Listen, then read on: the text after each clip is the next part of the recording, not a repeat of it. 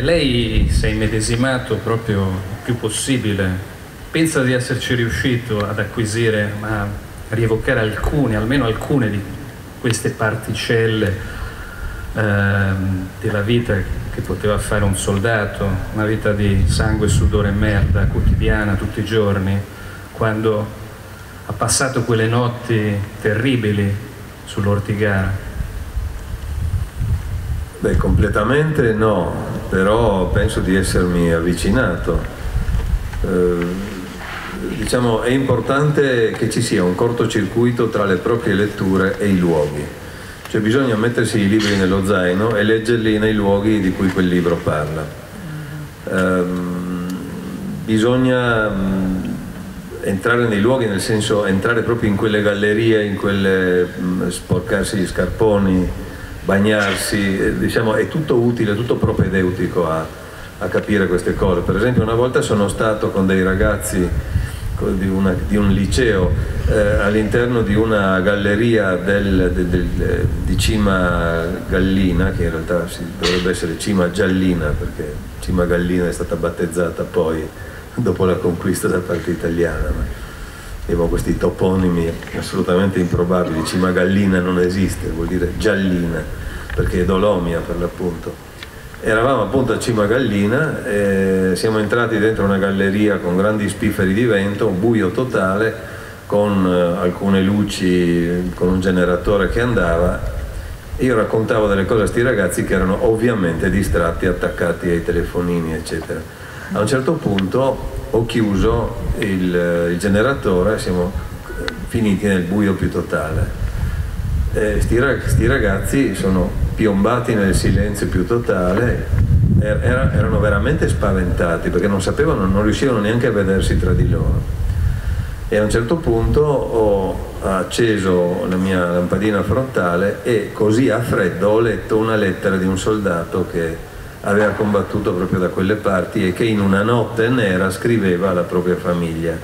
Da quel momento è cambiato tutto, cioè questi ragazzi hanno trasformato il, la gita scolastica in qualcosa di molto più profondo, cioè per loro è bastato quel momento di buio perché quello diventasse un viaggio iniziatico, addirittura gli insegnanti mi hanno raccontato che poi questi ragazzi tornati a scuola hanno parlato continuamente di quanto era accaduto a partire dal momento in cui c'era stato quel blackout, costruito naturalmente, ma arrivavano al punto da prendere in giro gli altri ragazzi che quell'esperienza non avevano avuto, quindi sentivano di essere cresciuti, cioè di aver fatto un piccolo passo verso l'età adulta. E questo è profondamente commovente. E poi c'è sempre questo discorso dell'autosuggestione. Io l'ho sperimentato molto quando ho fatto sette anni fa il viaggio alla ricerca dell'ombra di Annibale. Eh, andare alla ricerca di un personaggio così gigantesco era per me una sfida spaventosa.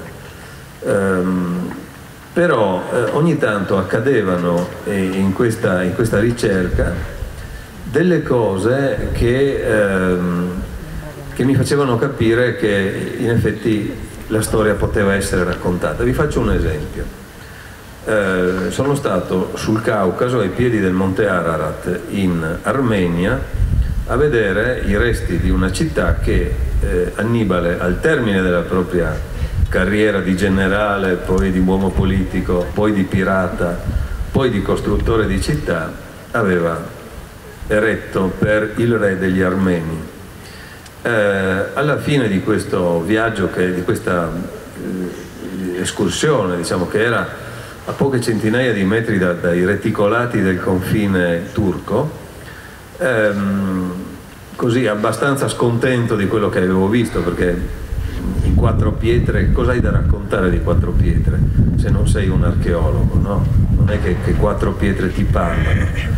E allora lì scatta sempre una vecchia massima che io ho imparato da un, da un grande del giornalismo italiano, Egisto Corradi, che è se non trovi notizie vai a farti un giro e qualcosa troverai. E così ho fatto, assieme al mio interprete, siamo andati a camminare eh, per delle montagne lì vicino, abbiamo trovato una, una valletta bellissima, tipo Shangri-La, con una, eh, un ingresso quasi nascosto, sembrava quasi una fessura tra le montagne, Dietro c'era una meravigliosa spianata erbosa in salita con in alto un, un eh, monastero eh, armeno e mentre camminiamo vediamo delle greggi e un pastore che ci chiama. Questo pastore ci invita a salire da lui, c'era il fuoco acceso, eh, aveva del vino, del pane tipo, tipo sardo, carta musica e non mi ricordo del formaggio, sì, e ci dice di sederci di, di... e a un certo punto mi chiede ma lei che cosa è venuto a fare? E spesso le cose belle nascono dalla domanda, dalla domanda una domanda naif che ti obbliga a una risposta semplice e io ho risposto sono venuto a cercare un uomo vissuto 22 secoli fa se avessi dato questa risposta a un pastore italiano mi avrebbero ricoverato ma eh, un, un, pastore abituato ai lunghi silenzi del Caucaso è sembrata una risposta assolutamente plausibile. E allora mi ha detto, ma raccontami la sua storia. E io ho dato, siccome avevo già bevuto un po' di questo ottimo vino caucasico, che mi, mi ha fatto subito pensare alla storica ciocca primordiale di Noè, che proprio da quelle parti penso che si sia ubriacato, eh, ho raccontato al meglio del, della, della mie, delle mie possibilità, sempre con l'interprete che mi andava dietro, la storia di Annibale che attraversa le Alpi con gli elefanti. E gli dico un dettaglio molto importante, gli dico, vedi, io sono convinto di una cosa, dico al pastore, che Annibale in realtà, per Annibale l'idea di battere i romani fosse relativamente importante, a lui interessava una sola cosa, che la sua memoria non fosse cancellata, cioè voleva fare qualcosa che restasse nella storia dell'umanità. E, e gli ho detto anche, per esempio, io sono convinto che gli elefanti non gli sono serviti a scopo militare, cioè non servivano a vincere le battaglie che poi lui avrebbe vinto ugualmente, vedi la battaglia di Cannes ma servivano a impressionare le popolazioni alpine che di fronte a questi pachidermi avrebbero fatto circolare la voce dell'africano che veniva da lontano con degli animali mai visti. E quindi questa cosa, che non era mai avvenuta nelle Alpi fino a quel momento, avrebbe portato la fama di Annibale ben oltre il limite biologico della sua vita. No? Allora vedi il pastore che sta lì, pensa, e dopo mi fa, ma secondo te c'è riuscito? Quindi era ben dentro la storia questo pastore assolutamente illetterato, però attento a tutte le inflessioni della voce mia e del traduttore. No?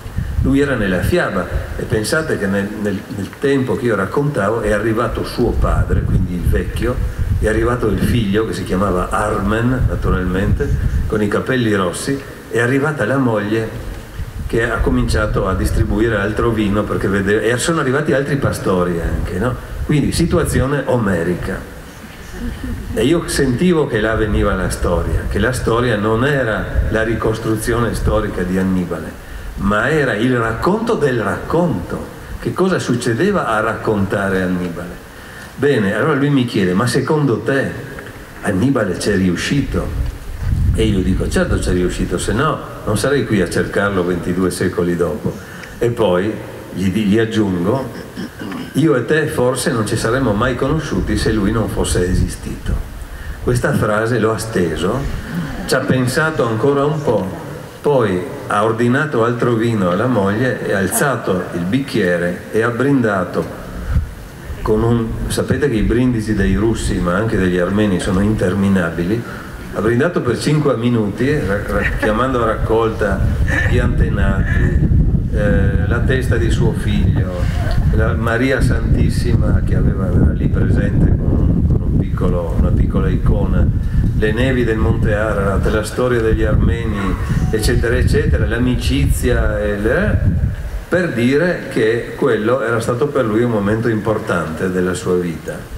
A quel punto ci siamo, eh, hanno portato un capretto arrosto, il fuoco scoppiettava, gli altri pastori erano con noi, con gli occhi luccicanti e eh, io eh, ormai completamente cotto di, di vino, mi sono imbarcato nell'aereo completamente ubriaco qualche ora dopo, giuro che in quel momento a cena con noi non c'era solo Annibale ma anche il vecchio Noè che godeva a questa grande libazione.